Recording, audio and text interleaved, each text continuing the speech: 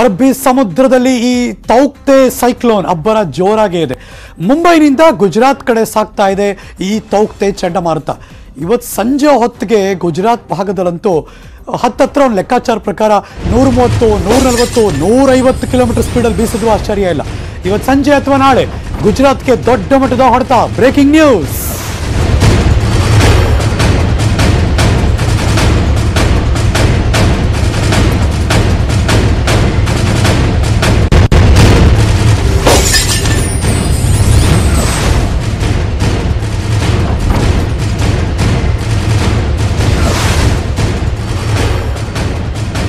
ಗುಜರಾತ್ನ coastal region ಅಲ್ಲಿ ಯಾವ್ಯಾವ ಸಿಟಿ ಬರುತ್ತೆ, ಯಾವ್ಯಾವ ನಗರ ಬರುತ್ತೆ, ಲಕ್ಷಾಂತರ ಜನರನ್ನ ಶಿಫ್ಟ್ ಮಾಡಿದ್ದಾರೆ ಈಗಾಗಲೇ ಕೂಡ.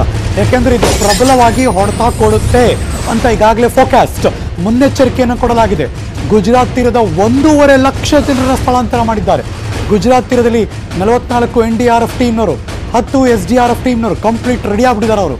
ಕೊರೋನಾ ವ್ಯಾಕ್ಸಿನೇಷನ್ ಮೇಲೂ ಕೂಡ ಸೈಕ್ಲೋನ್ ಎಫೆಕ್ಟ್ ಆಗ್ತಾ ಇದ್ದಾರೆ ಗುಜರಾತ್ನಲ್ಲಿ ಇವತ್ತು ಮತ್ತೆ ನಾಳೆ ಕೊರೋನಾ ಲಸಿಕೆಯನ್ನು ಹಾಕಲಾಗುತ್ತಿಲ್ಲ. ರದ್ದು ಮಾಡಿದ್ದಾರೆ. ಮಹಾರಾಷ್ಟ್ರದ ಮುಂಬೈನಲ್ಲಿ ಇವತ್ತು ಲಸಿಕೆ ಕೂಡ ರದ್ದಾಗ್ತಾ ಇದೆ. ಕಳೆದೆರಡು ದಿನ ಪಶ್ಚಿಮದ ದಕ್ಷಿಣ ಭಾಗದಲ್ಲಿ ಈ ತೌಕ್ತೆ ಚಂಡಮಾರುತ, ಕೇರಳ, ಕರ್ನಾಟಕ, ಗೋವಾ ತೀರದಲ್ಲಿ ಗಾಳಿಯ ಅಬ್ಬರ. ಅಲ್ಪ ಸ್ಟಾರ್ಟಿಂಗ್ ಹೆಂಗಿತ್ತು ಅಂದರೆ ಎಂಬತ್ತು ಕಿಲೋಮೀಟ್ರು, ಎಪ್ಪತ್ತು ಕಿಲೋಮೀಟ್ರು, ತೊಂಬತ್ತು ಕಿಲೋಮೀಟ್ರು ಹಂಗೆ ಸ್ಪೀಡಾಗಿ ಬೀಸ್ತಾ ಇತ್ತು. ಅದಾದ್ಮೇಲೆ ನೂರು ದಾಟ್ತು, ನೂರಿಪ್ಪತ್ತು ನೂರ ಮೂವತ್ತು ನೂರೈವತ್ತು ನೂರೈವತ್ತು ತನಕ ಅಂದರೆ ಯು ಕ್ಯಾನ್ ಇಮ್ಯಾಜಿನ್ ಅದರ ಸ್ಪೀಡ್ ಏನಾದರೂ ಸಿಕ್ಕರೆ ಹೆಂಗೆ ಹೊತ್ಕೊಂಡು ಹೋಗುತ್ತೆ ಅಂತ. ಇವತ್ತು ಮಹಾರಾಷ್ಟ್ರದ ಕರಾವಳಿಯಲ್ಲಿ ಭಾರೀ ಮಳೆಯ ಎಚ್ಚರಿಕೆಯನ್ನು ಕೊಡಲಾಗಿದೆ. ಇವತ್ತು ರಾತ್ರಿ ಮುಗಿದ ಮೇಲೆ ಮೂರು ದೃಶ್ಯ ನೋಡಿ. ಗೋವಾ ಭಾಗದಲ್ಲಿ ಮಹಾರಾಷ್ಟ್ರ ಮತ್ತು ಗುಜರಾತ್. ಇವತ್ತು ರಾತ್ರಿ ಆಗ್ತಿದ್ದಾಗೇ ಇವತ್ತು ಮತ್ತು ನಾಳೆ. ಬಿಕಾಸ್ ನಾಳೆ ಸಂಜೆ ಮೇಲೆ ಅದು ಕಡಿಮೆ ಆಗೋದು. ಗೋ, ಗುಜರಾತ್ ಹೋದ್ಮೇಲೆ ಹಾಗೆ ಅದು ಕಡಿಮೆ ಆಗುತ್ತೆ. ಆದರೆ ಇವತ್ತು ಮತ್ತು ನಾಳೆ ಇದೆಯಲ್ಲ? ಇದು ದೊಡ್ಡ ಮಟ್ಟ ಕೊಡ್ತಾ ಕೊಡುತ್ತೆ. ಕರ್ನಾಟಕ ಸೇಫ್ ಆಯಿತು ಈ ಭಾಗ. ಇವತ್ತು ಸಂಜೆ ಮೇಲೆ ಹಾಗೆ ಮೂವ್ ಆಗುತ್ತೆ. ಆದರೆ ಅದು ಮಹಾರಾಷ್ಟ್ರ ಮತ್ತು ಗುಜರಾತ್ ಸಂಜೆ ತಲುಪುವಷ್ಟೊತ್ತಿಗೆ ಅದು ದೊಡ್ಡ ಮಟ್ಟದ ತೀವ್ರತೆ ಪಡ್ಕೊಳ್ಳುತ್ತೆ. ಅಲ್ಲಿ ತುಂಬ ದೊಡ್ಡ ಪ್ರಮಾಣದ ಹಾನಿ ಮಾಡುತ್ತೆ. ಏಕೆಂದರೆ ಕರ್ನಾಟಕದಲ್ಲಿ ಏನು ನಿನ್ನೆ ಹಾನಿಯಾಗಿದೆ. ಮತ್ತು ಇವತ್ತು ಬೆಳಬೆಳಗ್ಗೆ ಒಂದಷ್ಟು ಈಗ ಕಡಿಮೆ ಆಗ್ತಿದೆ ನಿಜ.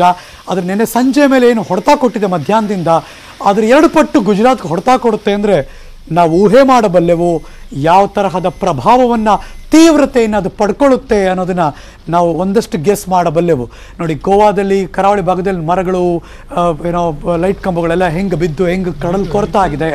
ಅದ್ರ ಎರಡು ಪಟ್ಟು ಎಫೆಕ್ಟು ಮಹಾರಾಷ್ಟ್ರ, ಗುಜರಾತ್ಗೆ.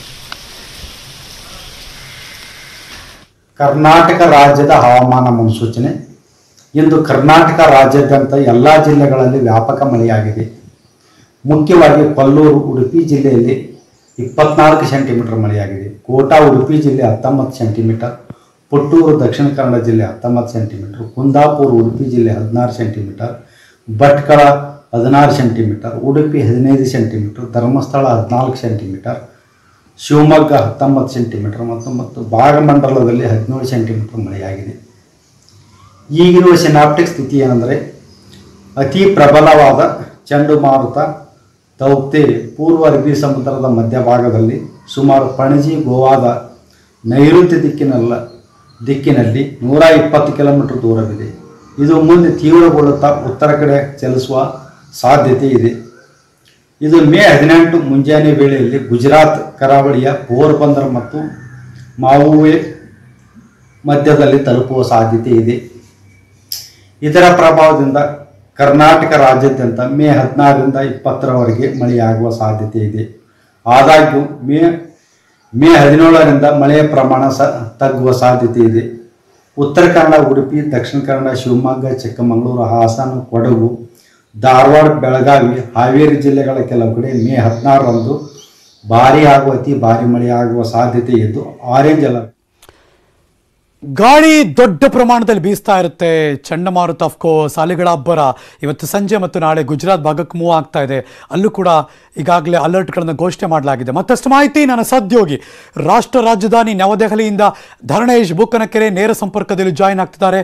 ಗುಡ್ ಮಾರ್ನಿಂಗ್ ಧರೇಶ್ ತೌಕ್ತೆ ಚಂಡಮಾರುತವನ್ನು ಇಂದ ಬಚಾವಾಗೋದಕ್ಕೆ ಸೇಫ್ ಆಗೋದಕ್ಕೆ ಕೇಂದ್ರ ಮತ್ತು ರಾಜ್ಯ ಸರ್ಕಾರ ಗುಜರಾತ್ ಭಾಗದಲ್ಲಿ ಮತ್ತು ಮಹಾರಾಷ್ಟ್ರ ಭಾಗದಲ್ಲಿ ಹೇಗೆಲ್ಲ ಅಲರ್ಟ್ ಆಗಿದ್ದಾರೆ?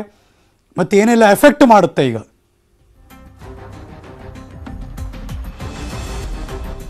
ಹರೀಶ್, ಈ ತೌಕ್ತೆ ಚಂಡಮಾರುತ ಇಡೀ ಪಶ್ಚಿಮ ಕರಾವಳಿಯನ್ನ ಕಂಗೆಡಿಸ್ಬಿಟ್ಟಿದೆ ಈಗ ನಿನ್ನೆ ನಾವು ನೋಡ್ತಾ ಇದ್ವಿ, ಕರ್ನಾಟಕ, ಕೇರಳ ಮತ್ತು ಗೋವಾಗಳ ಗೋವಾಗಳಿಗೆ ಯಾವ ರೀತಿ ಹೊಡೆತವನ್ನು ಕೊಟ್ಟಿತ್ತು ಅಂತ ಅಫ್ಕೋರ್ಸ್ ಈಗ ನಾವು ದೃಶ್ಯಗಳನ್ನು ಕೂಡ ಅದನ್ನ ತೋರಿಸ್ತಾ ಇದೀವಿ. ಆ, ಇವತ್ತು ಅದು ಮೇಲ್ಭಾಗಕ್ಕೆ ಹೋಗುತ್ತೆ. ಅಂದ್ರೆ ಪಶ್ಚಿಮ ದಕ್ಷಿಣದಿಂದ ಪಶ್ಚಿಮ ಉತ್ತರ ಕಡೆಗೆ ಹೋಗುತ್ತೆ ಅನ್ನುವಂತ ಮಾಹಿತಿಗಳು ಲಭ್ಯ ಆಗ್ತಿದ್ದಾವೆ ಹವಾಮಾನ ಇಲಾಖೆಯಿಂದ. ಈಗ ನಿನ್ನೆ ಕರ್ನಾಟಕ, ಕೇರಳ ಗೋವಾ ಆಯಿತು. ಇವತ್ತು ಮಹಾರಾಷ್ಟ್ರ ಮತ್ತು ಗುಜರಾತ್ಗೆ ಅಪ್ಪಳಿಸುತ್ತೆ ಈ ಒಂದು ತೌಕೆ ಚಂಡಮಾರುತ ಅಂತ ಹೇಳಲಾಗ್ತಿದೆ.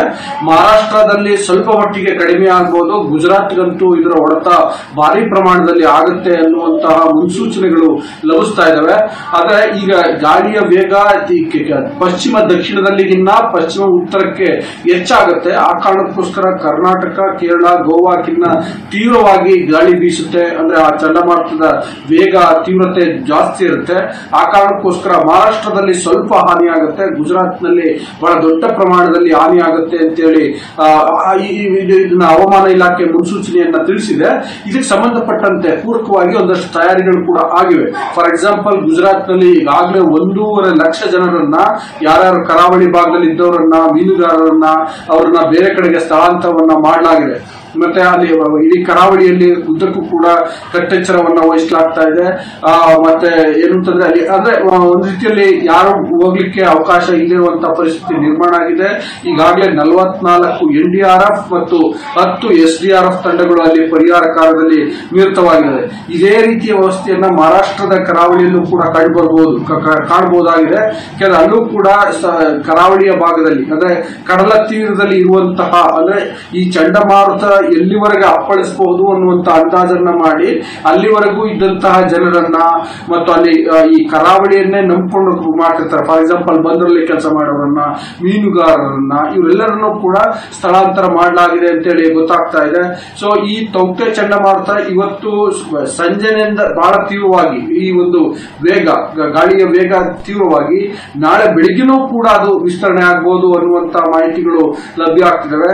ಅಂದ್ರೆ ಗಂಟೆಗೆ ನೂರ ಐವತ್ತು ಕಿಲೋಮೀಟರ್ ನಷ್ಟು ತೀವ್ರತೆಯನ್ನ ಪಡ್ಕೊಳ್ಬಹುದು ಅಂತ ಹೇಳಲಾಗ್ತಿದೆ. ನಿಜಕ್ಕೂ ಕೂಡ ನೂರ ಐವ ಗಂಟೆಗೆ ನೂರ ಐವತ್ತು ಕಿಲೋಮೀಟರ್ ತೀವ್ರತೆಯಲ್ಲಿ ಚಂಡಮಾರುತ ಅಪ್ಪಳಿಸಿದಾಗ ಏನು ಬಹಳ ದೊಡ್ಡ ಮಟ್ಟದ ನಷ್ಟ ಜೀವಹಾನಿಗಳು ಇವೆಲ್ಲ ಆಗುವಂತ ಸಾಧ್ಯತೆ ಇದೆ.